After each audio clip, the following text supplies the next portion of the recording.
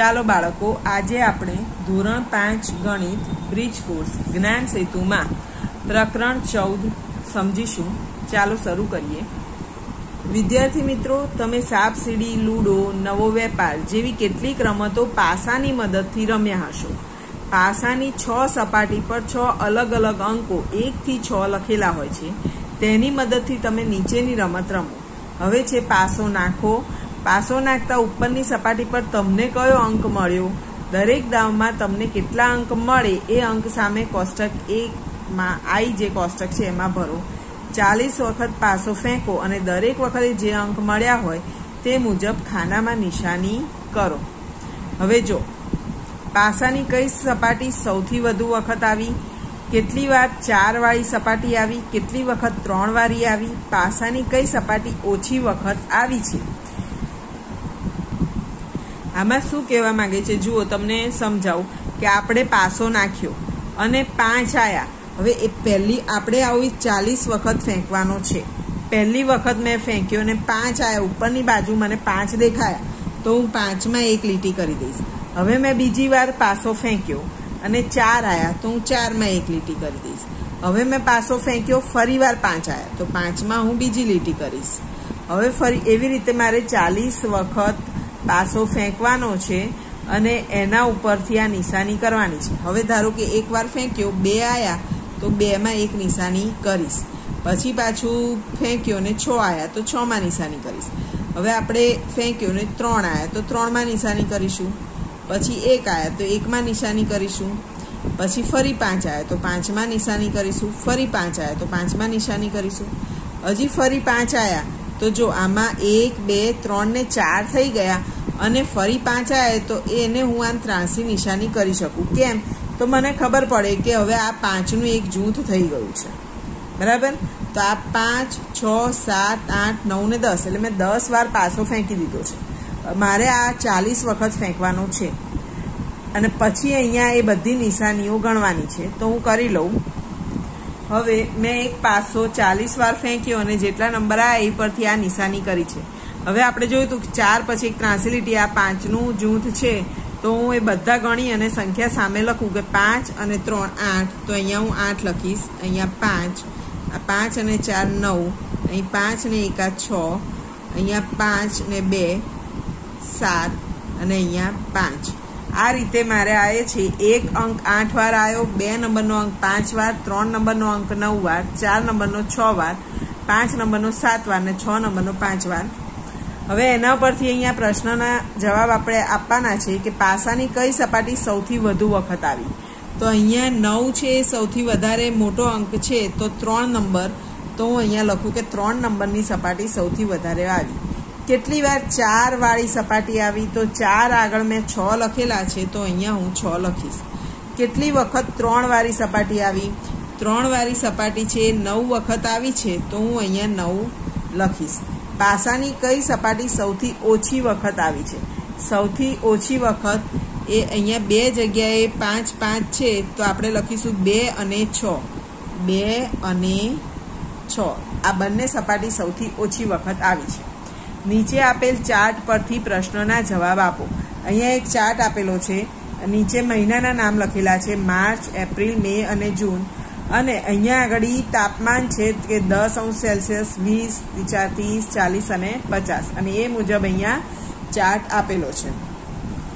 આ પ્રશ્નો છે ચાર્ટ ઉપરથી કે સૌથી ઓછું તાપમાન કેટલું છે અને કયા માસમાં? આપણે ચાર્ટમાં જોઈએ તો અહીંયા આગળ માર્ચ મહિનામાં આ સૌથી નીચો ગ્રાફ આ છે. એટલે સૌથી ઓછું તાપમાન માર્ચ મહિનામાં છે. અને એ વીસ અને ત્રીસની વચ્ચે, એટલે પચીસ અંશ સેલ્સિયસ છે.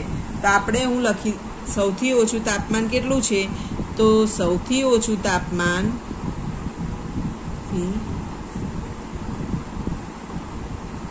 પચીસ અંશ સેલ્સિયસ છે. જે માર્ચ મહિનામાં છે.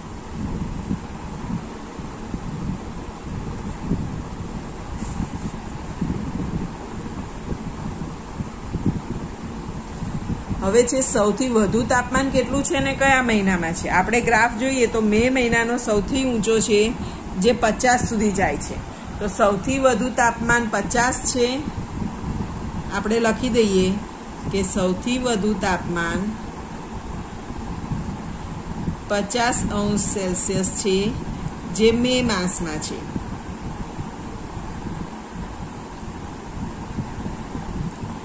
ચાલીસ અંશ સેલ્સિયસ તાપમાન કયા માસમાં છે? આપણે ચાલીસ અહીંયા આગળ છે. તો એ જોઈએ કે આ માસમાં છે તો જૂન. તો આપણે લખી દઈએ ચાલીસ અંશ તાપમાન જૂન માસમાં છે. ચાલીસ અંશ સેલ્સિયસ તાપમાન જૂન માસમાં છે. માર્ચ માસ કરતાં મે મહિનામાં તાપમાન કેટલું વધારે છે?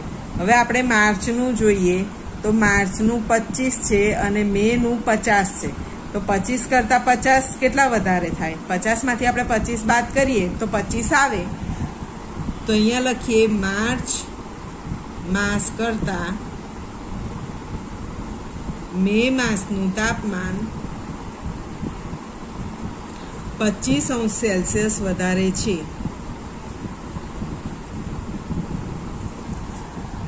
સૌથી વધુ તાપમાન અને સૌથી ઓછા તાપમાન વચ્ચેનો તફાવત કેટલો છે? સૌથી વધારે તાપમાન પચાસ છે અને સૌથી ઓછું તાપમાન પચીસ છે. એ બંને વચ્ચેનો આપણે તફાવત કરીએ કે પચાસમાંથી પચીસ જાય તો એ પચીસ રહેશે. તો આપણે અહીંયા લખીએ કે સૌથી વધુ તાપમાન અને સૌથી ઓછા તાપમાન, સૌથી વધુ તાપમાન અને સૌથી ઓછા તાપમાન વચ્ચેનો તફાવત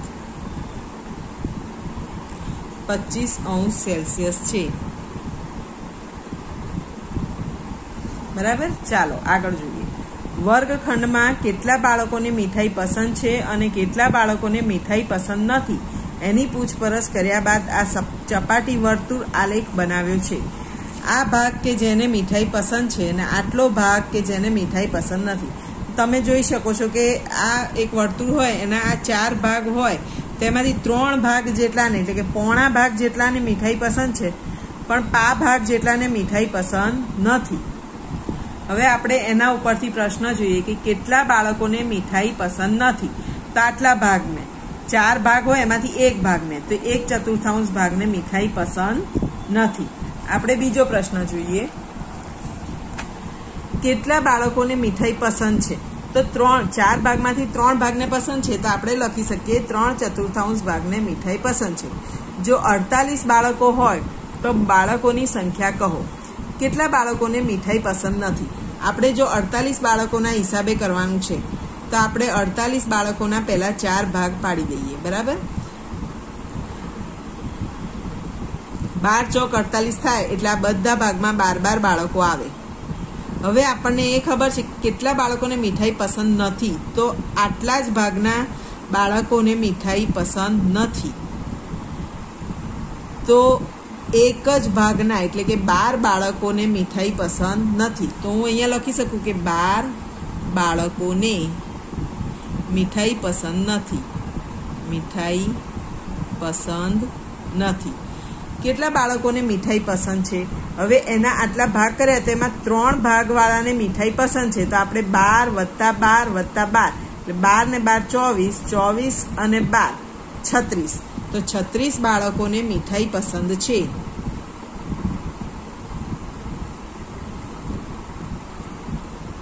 એમ કહી શકાય. હવે આગળ. નીચે એક શાળાના બાળકોની મનપસંદ વસ્તુઓનું કોષ્ટક આપેલું છે. તેના આધારે પ્રશ્નના જવાબ લખો. હવે મનપસંદ વસ્તુઓ દાબેલી, ભેળ અને સમોસા. તો પંદર બાળકોને દાબેલી, પંદરને ભેળ અને ત્રીસને સમોસા ભાવે છે. તો કુલ કેટલા બાળકો છે? તો જો પંદર ને પંદર ત્રીસ ને ત્રીસ સાહીઠ, તો કુલ સાહીઠ બાળકો છે. કઈ વસ્તુ બાળકોને સરખા પ્રમાણમાં પસંદ છે? તો જો દાબેલી અને ભેળ, તો અહીંયા આપી છે દાબેલી ભેળ ભેળ ને સમોસા, દાબેલી સમોસા અને એક પણ નહીં. તો દાબેલી અને ભેળ, એ બંને સરખા સરખા બાળકોને પસંદ છે. કુલ બાળકોમાંથી દાબેલી પસંદ કરતા બાળકોનું પ્રમાણ કેટલું? કુલ સંખ્યા આપણી સાહીઠ છે. સાહીઠમાંથી પંદર જણને દાબેલી પસંદ છે. આપણે સાહીઠના અડધા કરીએ તો ત્રીસ આવે ને ત્રીસના અડધા પંદર આવે. એટલે સાહીઠનો પા ભાગ કહેવાય અડધાનો અડધો, એટલે કે ચાર ભાગમાંથી એક ભાગ. તો અહીંયા આપેલું છે ચાર ભાગમાંથી એક ભાગ, તો આપણે એમાં ખરું કરીશું. દાબેલી પસંદ કરતા બાળકોનું કુલ પ્રમાણ, કુલ બાળકોના પ્રમાણમાં કેટલું છે? તો એક ચતુર્થાંશ, જે આપણે અહીંયા લખ્યું છે. કુલ બાળકોમાંથી સમોસા પસંદ કરતા બાળકોનું પ્રમાણ કેટલું? સમોસા ત્રીસ બાળકોને પસંદ છે, જે સાહીઠ કરતા અડધા છે. તો અહીંયા અડધા એટલે એકની નીચે બે. એના બે ભાગનો એક, બે ભાગ હોય સરખા, એમાંથી એક એટલે આ એક દૃત્યાંશ આવશે. ચાલો ત્યારે બાળકો આ પ્રકરણ આપણે અહીંયા પૂરું કરીએ છીએ. જો તમને વીડિયો ગમ્યો હોય તો ચોક્કસથી લાઈક કરજો, તમારા મિત્રોને શેર કરજો, ચેનલને સબસ્ક્રાઈબ કરજો. જો તમને કોઈ પ્રશ્ન ઉદ્ભવે તો કમેન્ટ્સમાં પ્રશ્ન જરૂરથી કરજો. ચાલો ત્યારે આવજો.